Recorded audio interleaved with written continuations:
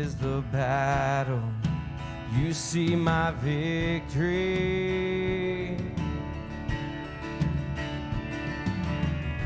When all I see is the mountain, you see the mountain move. And as I walk through the shadows,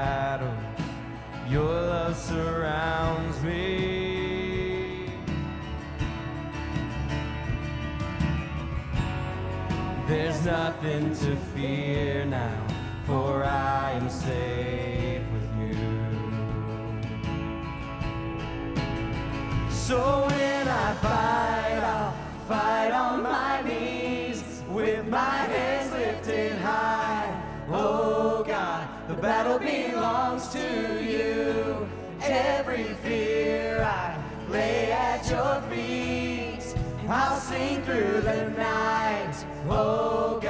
the battle belongs to you.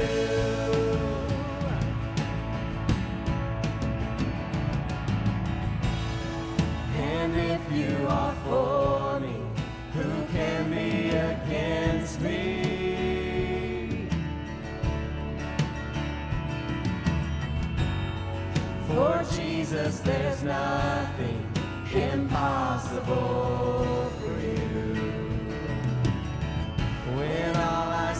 are the ashes, you see the beauty.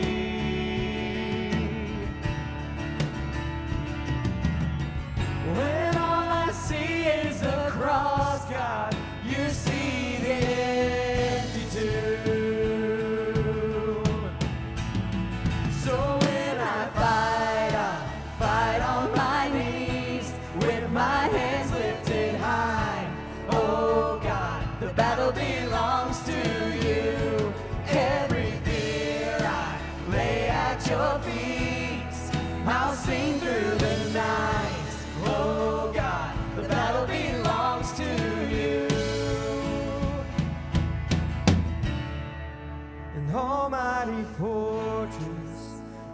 go before us. Nothing can stand against the power of our God. You shine in the shadows, you win every battle. Nothing can stand against the power of our God. An almighty fortress, you go before us. Nothing can stand against the power of our God. You shine in the shadows, you win every battle. Nothing can stand against the power of our God. Almighty fortress, you go before us. Nothing can stand against the power of our God. You shine in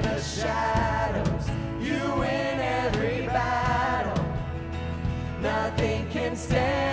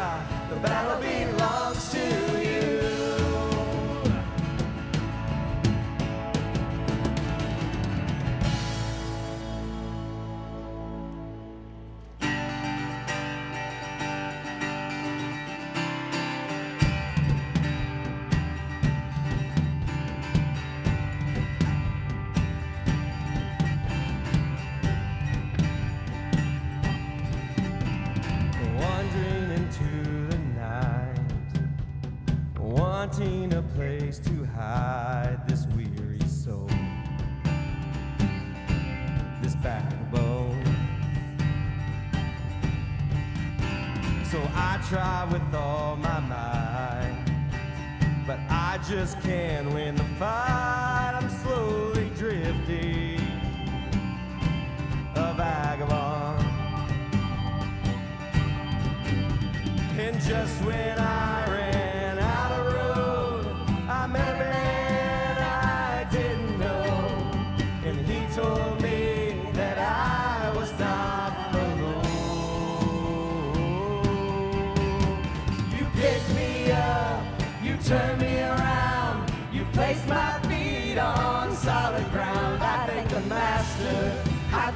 Savior, because you healed my heart, you changed my name, forever free. I'm not the same. I thank the Master, I thank the Savior, I thank God.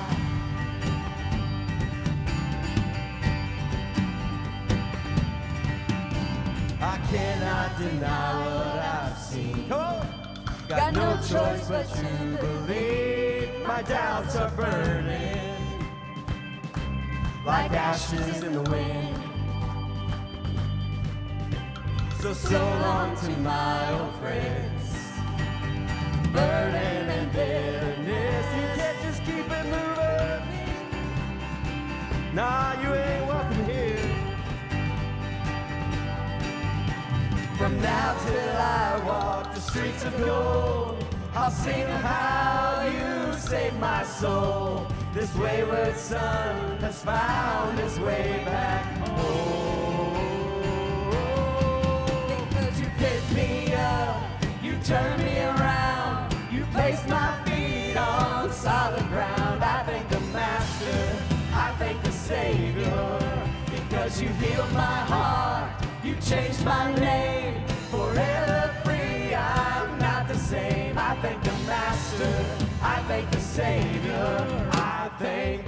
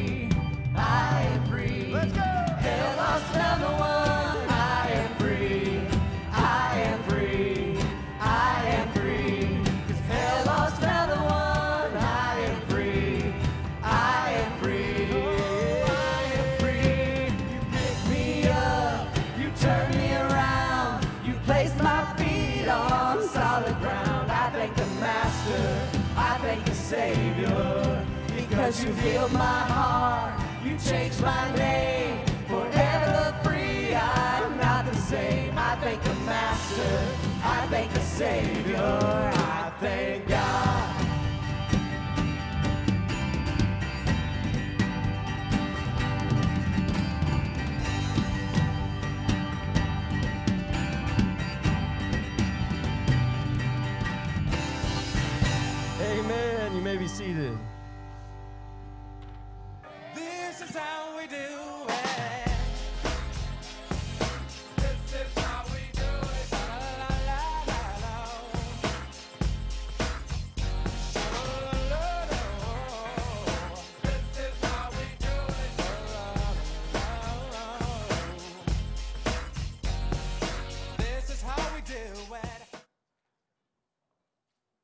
We're a series on the basics about what we believe, and today we're going to talk about the creation and the fall. We're going to be in the first book of the Bible, the book of Genesis, if you want to turn to that.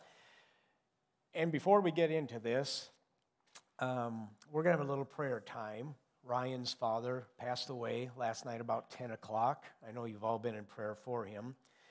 And uh, anyway, we need to pray for Ryan and the family.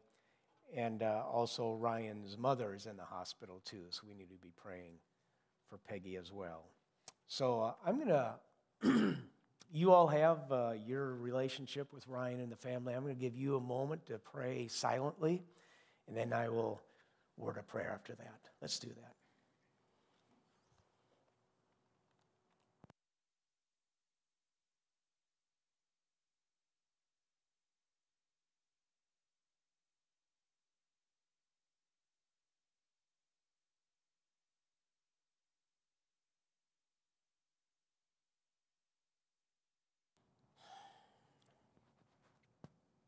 Father, first of all, we thank you for being there, for being a God who cares, a God who's all powerful, but also a God who's all compassionate. And we come before you knowing you will hear these prayers, knowing that you will respond because of Jesus. We thank you also for Ryan, his ministry here, for his family, and just pray for your strength and blessing to be upon them during this difficult time. We pray for Peggy and pray for healing for her as well. And Lord, uh, we just thank you so much that we remember Jesus being a healing Savior. And we will all be healed, either in this life or the next. And we just thank you for that confidence we have. And we pray all this in His name. Amen. The main character of the Bible is introduced in the first four words In the beginning, God. And Ryan preached on this God two weeks ago, the Trinity, a great sermon. And uh, here now in Genesis 1, this God started it all. Genesis 1 1, read this with me. In the beginning, God. Okay, and you'll notice if we read through Genesis 1, we can't read it all, of course, that everything that is, is created except God. God was not created, He was not born, no birth account, He is eternal. So, in the beginning, before anything, God. The Trinitarian God is at the foundation and the source of all reality. Now, in one of the Babylonian creation accounts, water is before anything else. In the beginning, water. A pantheist would say, in the beginning, spirit or force. You know, may the force be with you. A polytheist, a polytheist would say, in the beginning were many gods vying for power and control. An atheist would say, in the beginning, nothing, or maybe in the beginning, just matter and molecules, but certainly no God. And the question is, what is the one eternal constant of the universe? Because how you answer that question means everything. Genesis teaches there is one personal being behind the beginning to everything, an intelligent, communicating, personal God designed this world. And you would say, well, so what? This is great to talk about in Bible college, but who cares? Well, do you want a world created by an impersonal being or no being? Do you want to be an accident of nature? One characteristic of all personal beings is that when they do something, they have a reason for it. You and I don't do anything without a reason. Now, may not be a good reason, or maybe we don't even think about the reason, but we have a reason for whatever we do. And a safe assumption then is that God, who is a personal being, had a reason for making the world. And that means that the universe has a purpose. That means that your life has been created for a purpose. You were made for a reason. You're not an accident. If there is no God, if there's no intelligent being behind it, or if God isn't an impersonal force, there really is no meaning to our existence, no meaning to this world at all. Your life has no purpose. You're just born, you live, you die, and you know, then you're done. And, all we can do is desperately make up our own purpose. Well, I'll make money, or I'll, I'll be popular, or I'll have fun. And those are all dead ends. We all end up in the same place anyway, so nothing, nothing really matters if Genesis 1 is not true. Verse 2 Now the earth was formless and empty. Darkness was over the face of the deep, and the Spirit of God was hovering over the waters. And God said, Let there be light, and there was light. God saw that the light was good. So God speaks, and things happen. God said, Let there be light. God said, Let the land produce vegetation. God said, God said. The Word of God is powerful and brings into being all that is.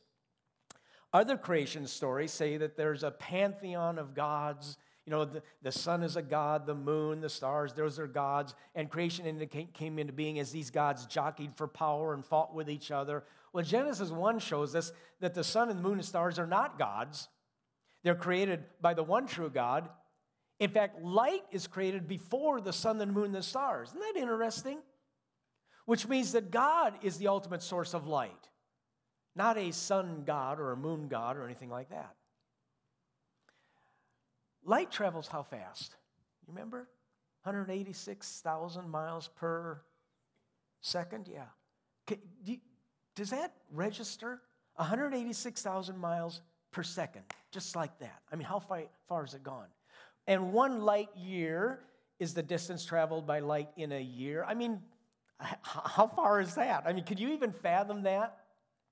And if you could travel that fast, it would take you 100,000 years to cross the Milky Way galaxy. 100,000 years going 186,000 miles per second. I mean, how big is this Milky Way galaxy? Can you even grasp that? And we're just an average galaxy. Our galaxy has about 400 billion stars, just like our sun, just one galaxy. And there's estimated to be about 100 billion such galaxies in the universe. Can you, have, can you wrap your mind around that? I, I'm going to say this. I think it's safe to say God is unfathomable. No person, no mind, no genius can comprehend him. If God were the ocean, our knowledge of him would fit in a thimble. Okay? In the start of Star Wars, it says, in a galaxy far, far away. Well, all the galaxies are far, far away. The closest one is Andromeda, 2.6 million light years, light years away. This is mind blowing stuff. They tell us there's billions of galaxies, each of them containing billions of stars. And one of my questions when I hear all that is why? Why does God create this vastness? Is he just having fun, just kind of tinkering around? He surely didn't need to create that big of a universe. Does God have other beings on other planets? Is there life in outer space? Why, God? Might be a good question to discuss in your small group this week. Maybe he did it just to show off, just to give a little idea of who he is. Or, here's what I think maybe this creation, this vast, unfathomable creation, is part of the end of the Bible, the end of the story, when Jesus comes again, and we'll be able to explore this unimaginable universe. I don't know, but it just blows my mind. The creation helps us get a glimpse of who this Trinitarian God is, a God that we cannot fathom. Here's another thing about God He created different aspects of creation each day, and periodically He pronounces things good. Light is good, water and dry land is good. Later, when man is alone, says, Oh, that's not good. In other words, God makes judgments right from the beginning. Some things are good, some things are not good. Now, today, of course, judging is gotten a bad word. You know, don't judge me. But right at the beginning, we have a God who judges. And even though many people don't like judging, everyone does it. It is built into us. We're made in the image of God, and so we all judge. And that's not bad. The universe is not neutral. There are some right things, there are some wrong things in the world. There's a morality behind and built into this universe. A guy wrote to a counselor, and this counselor was a Christian, and he writes I have a problem. I'm happily married to a wonderful wife. We have two children, but I've also been seeing a young lady the past seven months. The problem is, I love both of them. What should I do? Signed, confused. I love it. I'm confused. I'm the victim here. Anyway. Then he says, P.S., don't give me any of that morality stuff. He's really not confused. He knows. Anyway, the advice columnist writes back Dear confused, the only difference between humans and animals is morality. I suggest you contact your local veterinarian. well, that's judgmental. Folks, we are all judgmental. Get over it, okay? There is a right, there's a wrong, it's built into the universe. A lot of people don't like to hear that. Don't give me that morality stuff. Why don't we like it? Because we think God wants to take away our fun, He wants to limit us. No, God wants you to have the full life, the life you were designed for, in harmony with the universe, in harmony with Him. There's some good ways to live, there's some bad ways to live. We just need to deal with that. God judges His own work. Some things are good, but there's one He pronounces very good. The most amazing part of creation is, you know, the most amazing part of the creation is, it's Jim Rarick. Did you know that? It's all of us, actually, every one of us. I am the most amazing part of creation of it. First of all, we have God, and then God makes the universe, and it's amazing. It's, it's good, pronounced good. And then he makes people who are even more amazing, and he pronounces very good. Genesis 1:27. So God created mankind in his own image. In the image of God, he created them. Male and female, he created them. And then down in verse 31, it says, God saw all that he made, and it was really good. In chapter 2, we had the account of God making a mate for Adam. Her name is Eve, and they are the perfect couple. They live in perfect harmony with God and creation and each other. No fighting, no silent treatment, no withholding sex, no communication snafus, perfect relationship with God and with each other. What did Adam and Eve look like? I'm guessing they were pretty good looking. You ladies, you think Adam looked more like Brad Pitt? He's not bad. Or Danny DeVito. We don't know, but I'm guessing he was a pretty, pretty fine physical specimen like Hugh Grant or George Clooney, or maybe look like one of these two guys. now, for you online, that's our lead minister and youth minister. And if you come and meet them in person, they don't look exactly like that.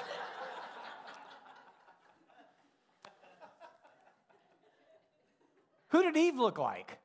I'm not showing any pictures on this one, okay? Angelina Jolie, Carrie Underwood, Jennifer Lopez. I said this in a sermon once, and a kid came up and said, Jennifer Lopez, she's old. She's 52, she's a kid. Anyway, we're made in the image of God, and we're pronounced very good. So, would you dare look in a mirror and say, I am the pinnacle of God's creative work, me? I am special. Now, it sounds a little prideful, but it's true. And this is the foundation, by the way, of self esteem. You and I are, the, are image bearers, different from the animals and different from the rest of the universe. In your small group, I'm going to have you discuss what does this imageness all mean? What are the implications of that?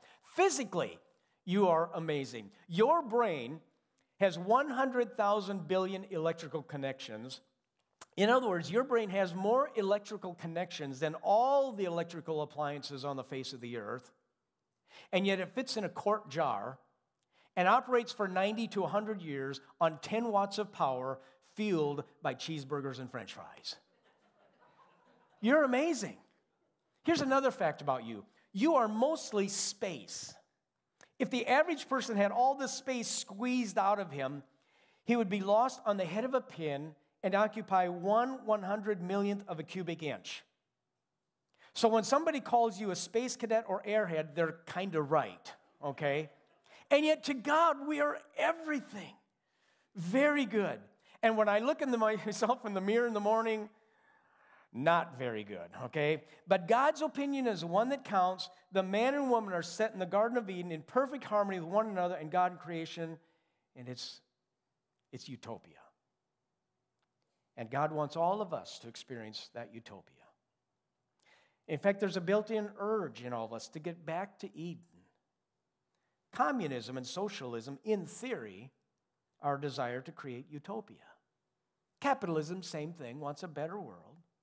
We want our kids to have a better world. But none of these systems, these man made systems, or our efforts will work. In the beginning is the only time we have perfection. Reading on, Genesis 2 16 and 17 says, And the Lord God commanded the man, saying, You may surely eat of every tree of the garden.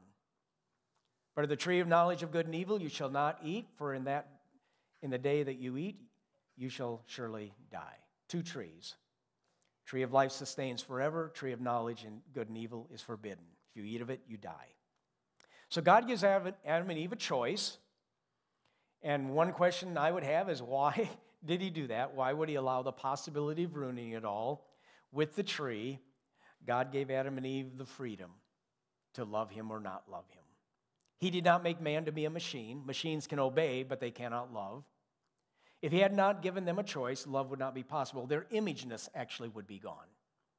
So, not Everyone agrees these days that choice is a universal experience. Many believe we are determined by environmental factors, genetics, heredity, and chemicals and upbringing, and there's an element of truth to all that. But complete, full determinism removes the possibility of love and heroism and courage or goodness because you don't have a choice.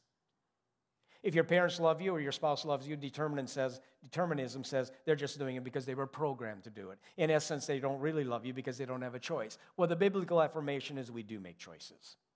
We are not robots. So the tree had to be there. A choice had to be presented to humanity. And, and, and a tree is presented to us every day. Every one of us has a tree, a choice. So then in chapter 3, things change. The serpent was more crafty than any other beast of the field that the Lord God had made. He said to the woman, Did God actually say, You shall not eat of any tree in the garden? And the woman said to the serpent, We may eat of the fruit of the trees in the garden, but God said, You shall not eat of the fruit of the tree that is in the middle of the garden, neither shall you touch it, lest you die. But the serpent said to the woman, You will not surely die. For God knows that when you eat of it, your eyes will be opened, and you will be like God, knowing good and evil.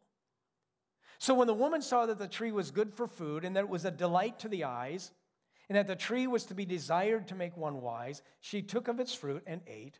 And she also gave some to her husband who was with her, and he ate. So the first temptation and the first sin's right here. And notice how attractive temptation is. It's pleasing to the eye, it's good for food, desirable for wisdom. All temptation is tempting. And the serpent asks, Did God say you'd die? Did he really say that? He wants to plant a seed of doubt, you know, get Eve to question the truth of God's word. See, back in chapter one, God's word is powerful, it speaks, is, amazing creation. But here, Eve is now going to start doubting the word. And every time God is quoted in chapter three, it's never quite right. First, God said, You may freely eat of the fruit from the trees in the garden. Eve removes the word freely, so she takes away from the word. Second, she talks about the tree in the middle of the garden, and they weren't supposed to touch it. God didn't say middle or touch. So she adds to the word. And then verse 3, she says, God says we will die. God actually said, You will surely die. So she softens the word. Very subtle changes, but just enough to distort God's intention and open the door. And when the tempter sees she's not retained a precise knowledge of God's word, he sees an opening, and then outwardly the serpent denies the word, says, You will not die. So you see a progression here from doubt to taking away to adding an eventual denial, and that is so universal. It happens every day. Here's another truth all temptation is based on some kind of deception. There's a deception that we can get away with this. You won't die. In fact, you'll be better off. You'll be like God. Adam and Eve. You'll be happier. You'll have more joy. Life will be more fulfilling. And the deceiver does the same today. Doubt, get you to doubt God's word. God didn't really mean that, did he? I mean, this is the 21st century. Come on, get on the right side of history. Even if God did say it, it doesn't even fit, it doesn't fit anymore. And you won't die. There's no consequence. Just try it. Your wife will never know. Kids won't find out. Mom and dad won't know. God's holding back on you. you. Eve, you can have it all. You can be like God. And there's an element of truth. They will be like God. They will know good and evil, but they'll know it in a different way. They will experience evil. God knows about evil, but doesn't experience it. They will actually participate in it. And never again will things be the same. Every temptation says, You'll be better off. This will make you happier. By the way, Adam is a coward. He refuses to intervene and do something. They're both guilty. I mean, he is right there. So we had innocence and utopia. but then they have the sin, and then by chapter six, just three years, three chapters later, it says, The Lord God saw how great the wickedness had become on the earth. Every inclination of everyone was only evil all the time. Notice the superlatives. Every inclination of everyone all the time. I mean, it's an absolute mess. And then it says the Lord regretted that he made humans. His heart was deeply troubled. So we had utopia, and now we have corruption, immorality, ugly politics, messed up families, messed up lives, COVID, Bears football, everything's a mess. The story changes. The perfect couple now hides from God. They blame each other. Their shame. I mean, and that's that's all us. The sin virus infects every one of us. We're all diseased. I, I, heard an old Puritan quote said, "If God ever allowed us to see more than one percent of our sin, we would fall down dead." We have no clue how fallen we are. We're self-deceived. So the creation shows our greatness. The fall shows our awfulness. We're special, made in the image of God, but we're damaged beyond repair. And one reason I believe Christianity is true is that the Christian story best explains human nature. We're made in the image of God. It's amazing what humans can do, our creative capacity. I mean, farmers just sitting in that combine. I mean, who thought up that combine and driven by satellites? And you go to the city and see skyscrapers and think of our space program. Captain Kirk went into space this past week. Uh, uh, the power in that little phone in our hands, the medical marvels, uh, and heroic acts of kindness and sacrifices and goodness. Some very God like qualities we see every day. and then we see how awful we can be. War and bloodshed, sex trafficking, stealing, cheating, lying, racism, and hate. So much ugly in humanity, meanness, catty, selfish. Even our best actions are tainted, have tainted motives. None of us is fully what God intended us to be. None of us has pure motives. We are scarred beyond repair. You see these kinds, these signs say, be kind. Well, there are times we are kind,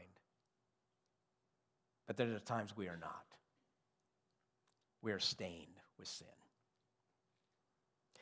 Kyle Idleman is a preacher in Louisville, and he tells about his wife buying a white love seat to go in their room with white carpet.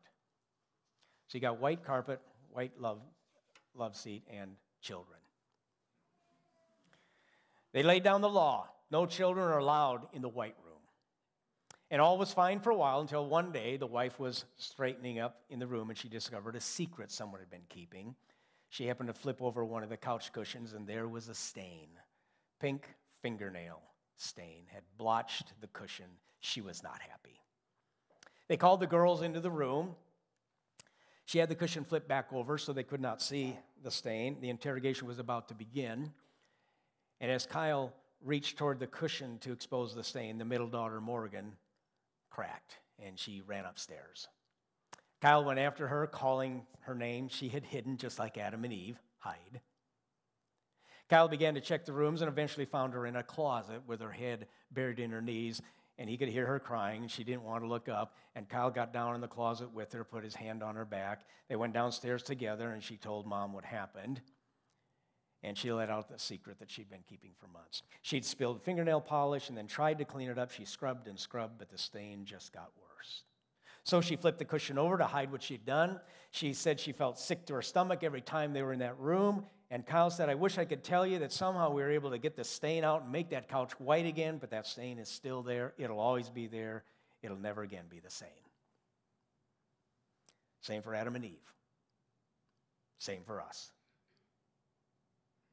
In verse 21, says, The Lord God made garments of skin for Adam and his wife and clothed them. And the Lord God said, The man has now become like one of us, knowing good and evil.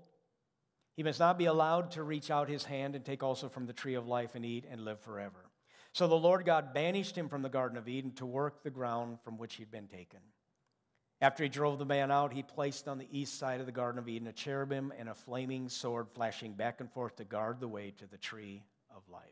Adam and Eve are kicked out. Sound like a mean thing to do, but it's actually an act of grace. God is keeping them from access to the tree of life, which would sustain their lives forever. See, do you want to live forever in a world that is cursed? Do you want to live in a place where there's constant poverty, constant war and conflict, backbiting, domestic violence, forced prostitution, inner city crime, Joe Biden, Donald Trump? You want to live with that forever? God guards the garden to keep us from that. It's an act of grace. You don't want to live forever in a world like that. See, God's vision is to do life with us without sin, without death, without the curse. So he banishes us from the tree of life for a while. The tree of life will show up again at the end of the story, the last two chapters of the book of Revelation, but for now, we're banished, and it's for our own good. So there is a lot of grace in this account. Adam and Eve do not get what they deserve. They don't physically die right then, they should have. God still communicates with them. In verse 15, there's actually the promise of a Savior. Her seed will crush the head of Satan. God provides garments to cover their nakedness, which means some animal had to die for their sin. By God's grace, life goes on. And eventually, He will send Jesus. Jesus will conquer their sin and their death and eventually restore that utopia. Once again, we will have the tree of life. Our sin will be atoned for. We will again be made perfect and innocent. The stain will be gone. When Kyle and his wife talked to Morgan about the stain in the couch, of course, she confessed.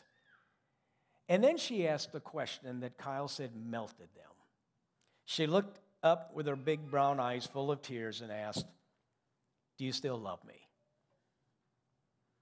And mom knelt down beside her and whispered, Morgan, you can never make a big enough stain to make, keep us from loving you. And Kyle said, even though the stain never came out, a funny thing happened. Morgan started telling the story of the stained white couch. She liked to show people the stain and tell them what happened. Why?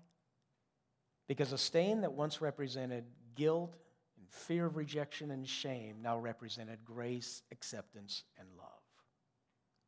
Praise team, you can start coming at this time. We can all point to some stain in our life. Every one of us can point to some defining moments where it'll never again be the same. We made a bad choice, made a bad decision. We stained our lives, just like Adam and Eve, like Morgan. But there's no stain that can keep him from loving us. That's another unfathomable, unfathomable part of God. But unlike the Idlemans who could not get the stain out, God can and does through the blood of Jesus. And that's what we commemorate when we do communion together.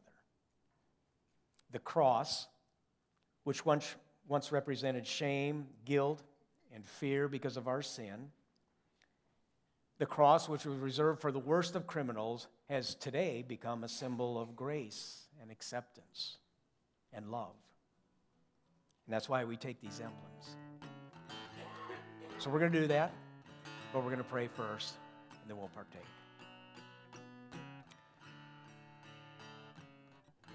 Lord, we're all stained. We have all made decisions that have impacted our lives and turned us away from you. But we come to you during communion time knowing that the blood of Jesus makes us as white as snow. We thank you for that. We praise you. In Jesus' name. I saw a quote a while back said, Grace means that there is nothing we can do to make God love us more. There is nothing we can do that can make Him love us more. We cannot earn His grace or His salvation. All we can do is accept it and then live for Him. So I'd like you to get out your emblems and take the bread, which represents His body, broken for our sin, broken for our sake. Take.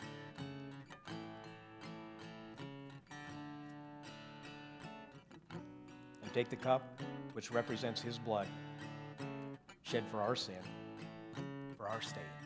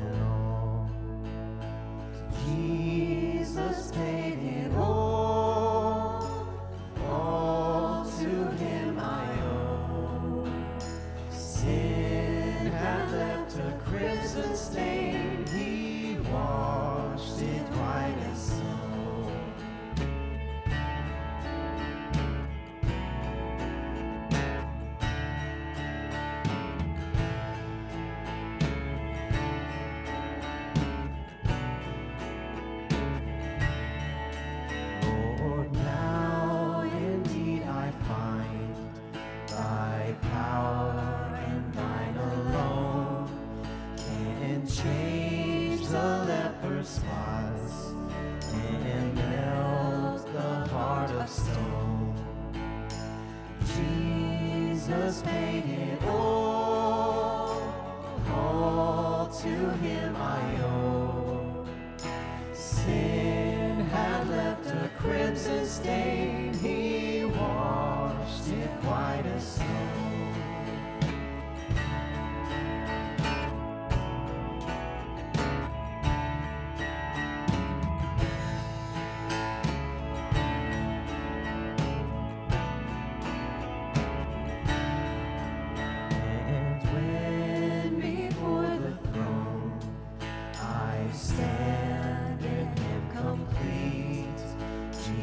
died my soul to save.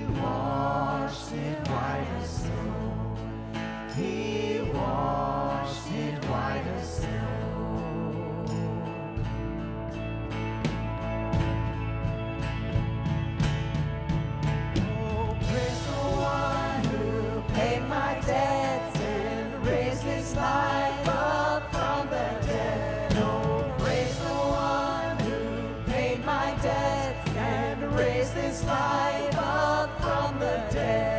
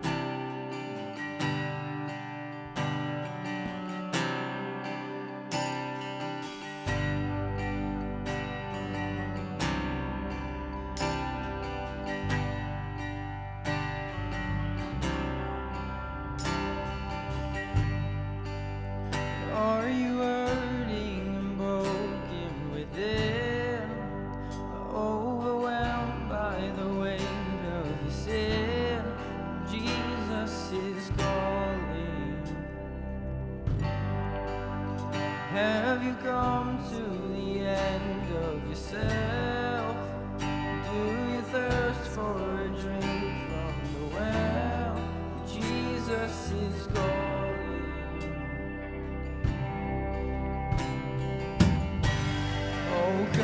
to the altar.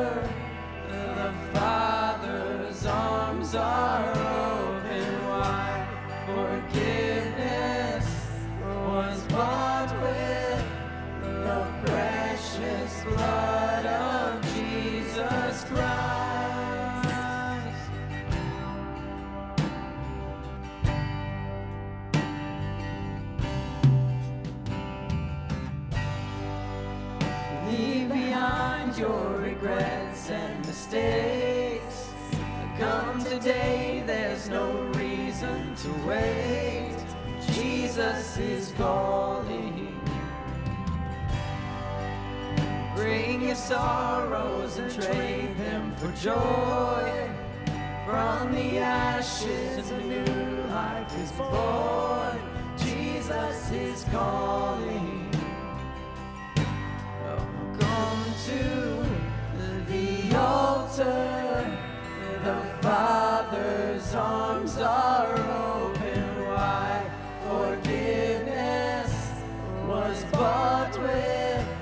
the precious blood of Jesus Christ. Oh, come to the altar.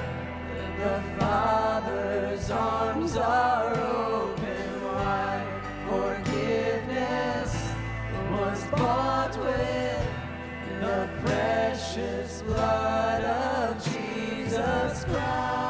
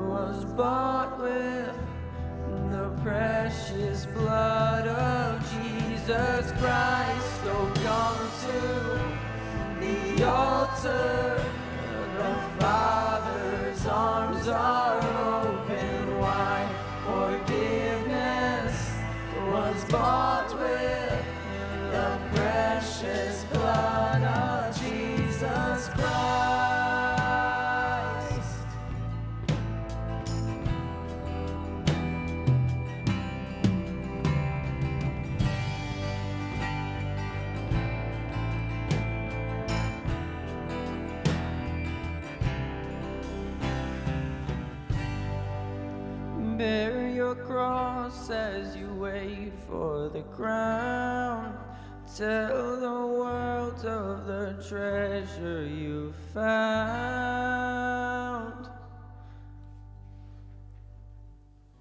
Hi, my name is Alicia Julius, and I have your announcements for this week. Every Sunday night, starting tonight, is high school Bible study from 5 to 6 at Lee and Brian Poston's house. We are taking 7th and 8th graders to an overnight conference called The Forge, October 29th and 30th. Parents can register their teenagers at lincolnchristian.edu. Student Ministries is having a rake and run on November 6th from 9 to 11. Meet at the Student Ministries building and bring your rake. The Women's Ministry is having a bonfire on October 24th at 6:30. Meet at Debbie Seifert's house. Trunk or Treat is October 27th from 6 to 7:30, and if you have a car with a trunk, you should bring it and decorate it. So sign up in the lobby. The Women's Bible Elective is every Sunday in between services in the fellowship hall. Operation Christmas Child is back, and the boxes and information can be found in our lobby. So, one thing about me is that I am always late, and so I always make my family late. And it's a good thing that these announcements are being shown at the end because if they were being shown at the beginning, there's a 100% chance that the Juliuses would not be seeing these announcements. Those are the announcements. Have a great week.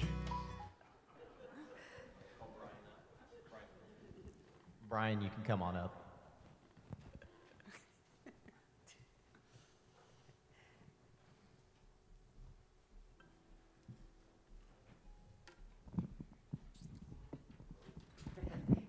Good morning. I lost the battle with that.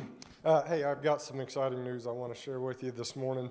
Um, if you've been around here for the past several years or even more recently, it, it shouldn't be a surprise to you that that Trevor Higgins has a passion for the uh, for worship and has regularly led us in worship as he did here this morning. And um, therefore, it shouldn't be any surprise that uh, it wasn't any surprise to the elders that, that Trevor has expressed a strong interest uh, in the vacant worship position that we, we now have. So um, Trevor served as a volunteer in the worship here for years for both adults and our youth groups.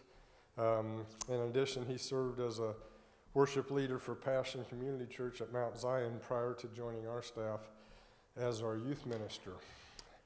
What may come as a surprise, however, as it did to the elders, is that at the time uh, when Sarah Hogan was hired as our office manager, um, we didn't realize the strong passion that youth ministry had created in her life growing up. Um, and in her pursuit of youth ministry, in, her initial pursuit of a youth ministry degree at Lincoln Christian University right out of high school.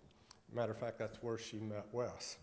The rest of that is history. So, um, over the past couple of months, as we started uh, uh, to discuss how we go about filling the worship ministry position, we not only discussed uh, Trevor's passion and strong interest in this, but we also became aware of Sarah's passion for youth ministry uh, because of the impact it had in her life growing up and her personal acceptance of Christ as her Savior. So, as a result, the elders uh, met individually with both Trevor and Sarah and discussed their passion and vision for these roles here at FCC.